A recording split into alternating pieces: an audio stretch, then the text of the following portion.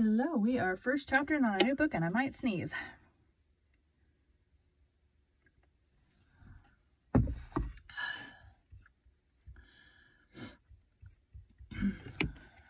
Okay, go to here.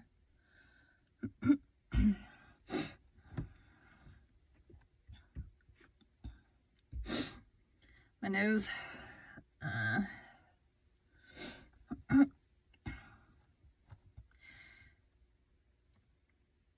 Chapter 1 Harvest is. Oh, hold on. There's a title with it. Subtitle? Subtitle? Chapter 1 The Shadow of Change. Harvest is ended and summer is gone, quoted Anne Shirley, gazing across the shorn fields dreamily.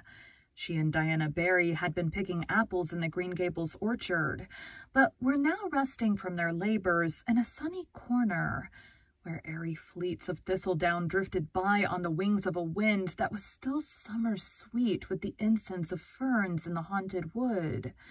But everything in the landscape around them spoke of autumn. The sea was roaring hollowly in the distance. The fields were bare and sere scarfed with goldenrod. The brook valley below Green Gables overflowed with asters of ethereal purple, and the lake of shining waters was blue, blue, blue. Not just the changeful blue of spring, nor the pale azure of summer, but a clear, steadfast, serene blue, as if the water were past all moods and tenses of emotion, and had settled down to a tranquility unbroken by fickle dreams. It has been a nice summer, said Diana, twisting the new ring on her left hand with a smile, and Miss Lavendar's wedding seemed to come as a sort of a crown to it. I suppose Mr. and Mrs. Irving are on the Pacific coast now. It seems to me they've been gone long enough to go around the world, sighed Anne. Anne. I can't believe... Anne. I can't believe it is only a week since they were married. Everything has changed. Miss Lavendar and Mr. and Mrs. Allan gone. How lonely the manse looks with the shutters all closed.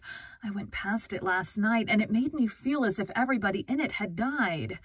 We'll never get another minister as nice as Mr. Allan, said Diana with gloomy conviction. Mr. Allan, said Diana with gloomy conviction. I suppose we'll have all kinds of supplies this winter, and half the Sundays no preaching at all. And you and Gilbert gone. It will be awfully dull. Fred will be here, insinuated Anne slyly. When is Mrs. Lynde going to move up? asked Diana, as if she had not heard Anne's remark. Tomorrow. I'm glad she's coming, but it will be another change. Marilla and I cleared everything out of the spare room yesterday. Do you know, I hated to do it. Of course, it was silly, but it did seem as if we were committing sacrilege. That old spare room has always seemed like a shrine to me. When I was a child, I thought it the most wonderful apartment in the world. You remember what a consuming desire I had to sleep in a spare room bed, but not the Green Gables spare room. Oh no, never there. It would have been too terrible. I couldn't have slept a wink from awe. I never walked through that room when Marilla sent me in on an errand. No, indeed, I tiptoed through it and held my breath, as if I were in a church and felt relieved when I got out of it. The pictures of George Whitefield and the Duke of Wellington hung there, one on each side of the mirror, and frowned so sternly at me all the time I was in, especially if I dared peep in the mirror, which was the only one in the house that didn't twist my face a little. I always wondered how Marilla dared house clean that room. And now it's not only cleaned, but stripped bare. George Whitefield and the Duke have been relegated to the upstairs hall. So passes the glory of this world, concluded Anne with a laugh in which there was a little note of regret. It is never pleasant to have our old shrines desecrated, even when we've outgrown them. My back itches. It keeps itching in like the place that you can't reach. I need like a back I need a back scratcher. Um, because it keeps itching in like a spot that I can't reach with my hand. It's not like happy in between. I can't reach it from above and I can't reach it from behind. it just drives me nuts. There we go. grown them. I'll be so lonesome when you go, moaned Diana for the hundredth time. And to think you go next week. But we're together still, said Anne cheerily. We mustn't let next week rob us of this week's joy. I hate the thought of going myself. Home and I are such good friends. Talk of being lonesome. It is I who should groan. You'll be here with any number of your old friends and Fred, while I shall be alone among strangers, not knowing a soul. Except Gilbert and Charlie Sloane, said Diana, imitating Anne's italics and slyness. Charlie Sloane will be a great comfort, of course, agreed Anne sarcastically, whereupon both those irresponsible damsels laughed. Diana knew exactly what Anne thought of Charlie Sloane, but despite sundry confidential talks, she did not know just what Anne thought of Gilbert Blythe. To be sure, Anne herself did not know that. The boys may be boarding at the other end of Kingsport for all I know, Anne went on. I'm glad I'm going to Redmond, and I'm sure I shall like it after a while, but for the first few weeks I know I won't. I shan't even have the comfort of looking forward to the weekend visit home as I had when I went to Queen's. Christmas will seem like a thousand years away. Everything is changing, or going to change, said Diana sadly. I have a feeling that things will never be the same again, Anne. We have come to a parting of the ways, I suppose, said Anne thoughtfully. We had to come to it. Do you think, Diana, that being grown up is really as nice as we used to imagine it would be when we were children? I changed my tea type. I've been having some like, I don't know, it could just be the quantity of crap that I eat over the weekend causing like heartburn stuff. Um, but there's quite a few warnings on throat coat tea. And so I'm like, we're going to not drink throat coat tea for a couple days and see if that kind of resolves it. Um, cause it's not the end of the world to drink a different tea. Um, so this is a, um, Scottish English breakfast, something breakfast tea. Irish breakfast tea, that's it. But I typically put milk in it, but since I leave it here most of the day, I didn't want to do that today. For children? I don't know. There are some nice things about it, answered Diana again, caressing her ring with that little smile which always had the effect of making Anne feel suddenly left out and inexperienced. But there are so many puzzling things, too.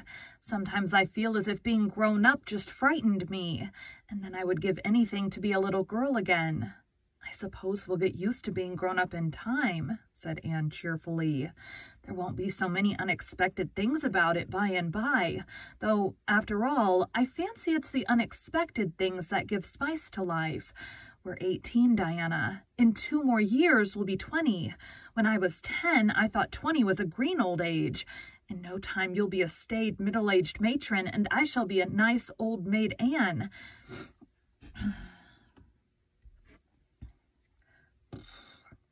Old age. Old age. In no time you'll be a staid, middle-aged matron, and I shall be nice old maid Anne coming to visit you on vacations. You'll always keep a corner for me, won't you, Di, darling? Not the spare room, of course. Old maids can't aspire to spare rooms, and I shall be an humble... Hmm. Old maids. Room, of course. Old maids can't aspire to spare rooms, and I shall be humble as Uriah Heep and quite content with a little over the porch or off the parlor cubbyhole. What nonsense you do talk, Anne, laughed Diana. You'll marry somebody splendid and handsome and rich, and no spare room in Avonlea will be half gorgeous enough for you, and you'll turn up your nose at all the friends of your youth. That will be a pity, but my nose is quite nice, but I fear turning it up would spoil it, said Anne, patting that shapely organ. I haven't so many good features that I could afford to spoil those I have, so even if I should marry the king of the Cannibal Islands, I promise you I won't turn up my nose at you, Diana. With another gay laugh, the girls separated. Diana to return, return? Separated. Diana to return to Orchard Slope, and to walk to the post office. She found a letter awaiting her there, and when Gilbert Blythe overtook her on the bridge over the Lake of Shining Waters, she was sparkling with the excitement of it. Priscilla Grant is going to Redmond, too, she exclaimed. Isn't that splendid? I hoped she would, but she didn't think her father would consent. He has, however, and we're to board together. I feel that I can face an army with banners or all the professors of Redmond in one fell phalanx, with a chum like Priscilla by my side. I think we'll like Kingsport, said Gilbert. It's a nice old burg, they tell me, and has the finest natural park in the world. I've heard that the scenery in it is magnificent. I wonder if it will be, can be, any more beautiful than this, murmured Anne looking around her with the loving, enraptured eyes of those to whom home must always be the loveliest spot in the world, no matter what fairer lands may lie under alien stars. They were leaning on the bridge of the old pond, drinking deep of the enchantment of the dusk, just to the spot where Anne had climbed from her sinking dory on the day Elaine floated down to Camelot. The fine empurpling dye of sunset still stained the western skies, but the moon was rising, and the water lay like a great silver dream in her light. Remembrance wove a sweet and subtle spell over the two young creatures.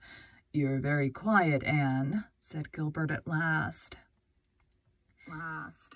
I'm afraid to speak or move, for fear all this wonderful beauty will vanish just like a broken silence, breathed Anne. Gilbert suddenly laid his hand over the slender white one lying on the rail of the bridge. His hazel eyes deepened into darkness. His still boyish lips opened to say something of the dream and hope that thrilled his soul. But Anne snatched her hand away and turned quickly. The spell of the dusk was broken for her. I must go home, she exclaimed with a rather overdone carelessness. Marilla had a headache this afternoon, and I'm sure the twins will be in some dreadful mischief by this time. I really shouldn't have stayed away so long. That's itchy up on the top. Eh. I swear every shirt in this fabric is itchy. so long. She chattered ceaselessly and inconsequently until they reached the Green Gables lane. Poor Gilbert hardly had a chance to get a word in edgewise, and felt rather relieved when they parted. There had been a new secret self-consciousness in her heart with regard to Gilbert, ever since that fleeting moment of revelation in the garden of Echo Lodge. Something alien had intruded into the old perfect school-day comradeship something that threatened to mar it. I never felt glad to see Gilbert go before, she thought half resentfully, half sorrowfully as she walked alone up the lane. Our friendship will be spoiled if he goes on with this nonsense. It mustn't be spoiled. I won't let it. Oh, why can't boys just be sensible? Won't let it. Oh, why can't boys be just sensible? Anne had an uneasy doubt that it was not strictly sensible that she should still feel on her hand the warm pleasure of Gilbert's, as distinctly as she had felt it for the swift second his hand had rested there, and still less sensible that the sensation was far from being an unpleasant one, very different from that which had attended a similar demonstration on Charlie Sloane's part, when she had been sitting out a dance with him at White Sands party three nights ago and shivered over the disagreeable recollection. But all problems connected with infatuated swains vanished from her mind when she entered the homely, unsentimental atmosphere of the Green Gables kitchen, where an eight-year-old boy was crying grievously on the sofa. What is the matter, Davy? asked Anne, taking him up in her arms. Where are Marilla and Dora? Marilla's... Uh, nope. That is not eight-year-old boy voice. And Dora. Marilla's putting Dora to bed, sobbed Davy. And I'm crying 'cause Dora fell down the outside cellar steps heels over head and scraped all the skin off her nose and... Well, don't cry about it, dear. Of course you're sorry for her, but crying won't help her any. She'll be all right tomorrow. Crying never helps anyone, Davy boy, and I ain't crying 'cause Dora fell down the cellar. The cellar said Davy, cutting short Anne's well-meant preachment with increasing bitterness. I'm crying 'cause I wasn't there to see her fall. I'm always missing some fun or other, seems to me. Oh, Davy! Anne choked back an unholy shriek of laughter. Would you call it fun to see poor little Dora fall down the steps and get hurt? She wasn't much hurt, said Davy defiantly. Course, if she'd been killed, I'd have been real sorry, Anne. But the Keiths ain't so easy killed. They're like the Blewetts, I guess. Herb Blewett fell off the hayloft last Wednesday and rolled down right through... Mm. I guess. Herb Blewett fell off the hayloft last Wednesday and rolled right down through the turnip chute into the box stall where they had a fearful wild cross horse and rolled right under his heels. And still he got out alive, only with three bones broke. Mrs. Lynde says there are some folks you can't kill with a meat axe. Is Mrs. Lynde coming here tomorrow, Anne? Yes, Davy, and I hope you'll be always very nice and good to her. I'll be nice and good, but will she ever put me to bed at nights, Anne? Perhaps. Why? Cause, said Davy very decidedly, if she does, I won't say my prayers before her like I do before you, Anne. Why not? Cause I don't think it would be nice to talk to God before strangers, Anne. Dora can say hers to Mrs. Lynde if she likes, but I won't. I'll wait till she's gone and then say 'em. Won't that be all right, Anne? Yes, if you're sure you won't forget to say them, Davy boy.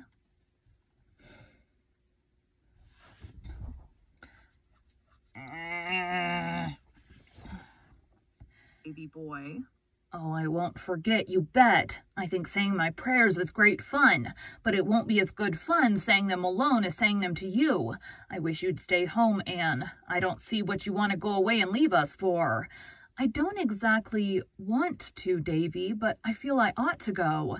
If you don't want to go, you needn't. You're grown up. When I'm grown up, I'm not going to do one single thing I don't want to do, Anne. All your life, Davy, you'll find yourself doing things you don't want to do. I won't, said Davy flatly. Catch me. I have to do things I don't want to now because you and Marilla'll send me to bed if I don't. But when I grow up, you can't do that and there'll be nobody to tell me not to do things. Won't I have the time? Say, Anne, Milty Boulter says his mother says you're going to college to see if you can catch a man. Are you, Anne? I want to know. For a second, Anne burned with resentment. Then she laughed, reminding herself that Mrs. Boulter's crude vulgarity of thought and speech could not harm her. No, Davy, I'm not. I'm going to study and grow and learn about many things. What things? Shoes and ships and sealing wax and cabbages and kings, quoted Anne. Good Anne. But if you did want to catch a man, how would you go about it? I want to know persisted Davy, for whom the subject evidently possessed a certain fascination. You'd better ask Mrs. Boulter, said Anne thoughtlessly. I think it's likely she knows more about the process than I do. I will the next time I see her, said Davy gravely. Davy, if you do, cried Anne, realizing her mistake.